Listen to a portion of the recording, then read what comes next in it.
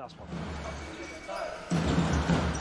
To może być e, bolesna strata, bo tutaj Arka może znów wyrównać lub wyjść na prowadzenie, choć w tym spotkaniu e, tych zmian prowadzenia jest wiele. I Witliński, ależ e, mocarny wsad, kosz tam się zatrząsł. Konstrukcja na szczęście cała w pełni sprawna do tego, żeby...